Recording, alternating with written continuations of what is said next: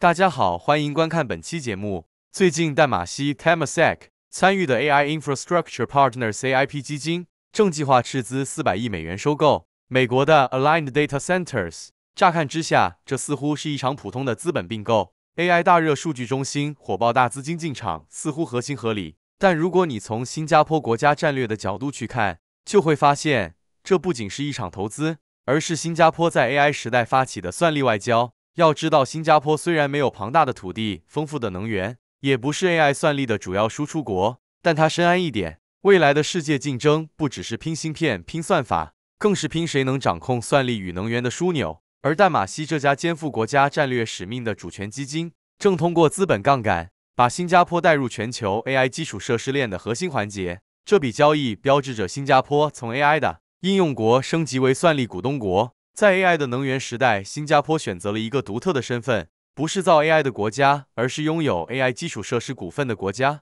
接下来，我们就从资本、战略、能源三个维度，带你看懂这场四百亿美元的国家棋局。过去几年，淡马锡的投资重点一直聚焦在 AI 公司与科技创新上，无论是 OpenAI 生态芯片企业，还是 SaaS 平台，它都积极布局。但这次不同，淡马锡没有投 AI 企业，而是投 AI 的物理世界。因为 AI 发展的真正瓶颈已经不在算法，而在基建三件套：数据中心容量 （Power Cooling）、能源供应 （Sustainable Power）、网络互联速度 （Connectivity）。AI 的每次训练都在吞噬巨量电力与冷却资源。OpenAI 的 GPT 系列、NVIDIA 的推理集群、Google 的 TPU 中心背后都是数以百兆瓦计的能源消耗，而 Aligned Data Centers 正是 AI 时代的能源工厂。它拥有超过五吉瓦的算力容量，专注于高密度 AI 负载、绿色能源冷却与模块化建设。淡马锡通过 AIP 基金介入，意味着它不再只投 AI 的上层应用，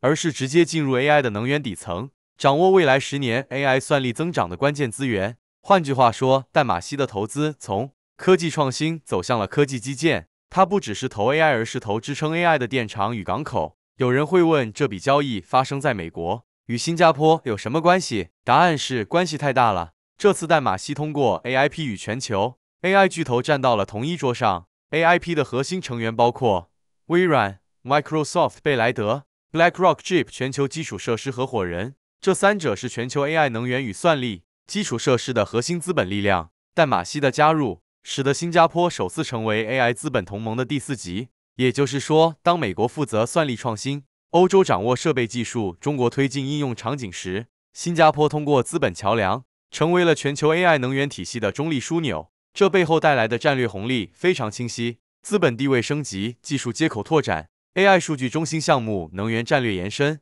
但马锡通过 AIP 进入这一链条，意味着新加坡正构建一种全球能源延伸。未来在氢能跨国电网、东盟绿色能源互联等议题上，新加坡将拥有发言权。要理解这场投资的深远性，就要理解 AI 的本质。AI 不是虚拟经济，它正在成为能源经济。每一个 AI 模型的训练背后，都是电力冷却与网络资源的巨大消耗。而掌握这些资源的，不再是科技公司，而是基础设施资本。新加坡早就意识到这一趋势。在 AI 时代，国家的竞争不只是算得快，更是要能耗得起、建得稳、管得住。但马西出手 AIP，就是在用资本进行一种能源外交。通过参与全球 AI 数据中心与清洁能源投资，新加坡不但获得利润，更重要的是控制权与知识权。这让新加坡在 AI 世界的角色从应用国跃升为能源与算力节点。它不靠土地、靠电厂，而是靠资本与制度赢下 AI 基础设施的席位。换句话说，新加坡正在成为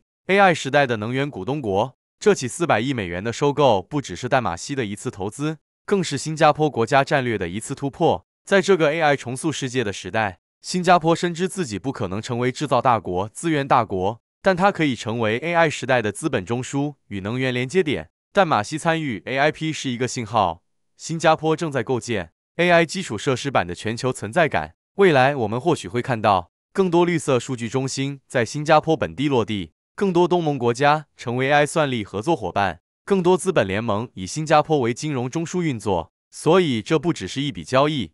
这是新加坡以资本为语言，以能源为杠杆，在 AI 时代向世界发出的制度级宣言。那么，你觉得这一次淡马锡压住 AI 算力的布局，能帮助新加坡在全球科技浪潮中占据领先吗？